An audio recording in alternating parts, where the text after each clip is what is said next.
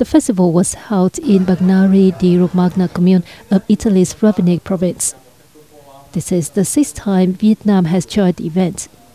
However, this year, in addition to showing cuisine, the Vietnamese Embassy in Italy and the Vietnam Italy Culture Bridge Association organized a photo exhibition featuring the country's landscapes, people, culture, traditional customs, and musical instruments for the first time.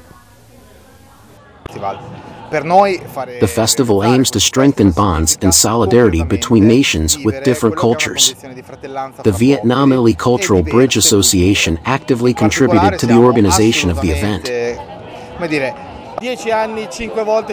For years, the organizers have encouraged the Vietnamese community to set up a booth at the festival. This has attracted a large number of Vietnamese food lovers. Members of the Vietnam Italy Culture Bridge Association made Vietnamese dishes at the festival.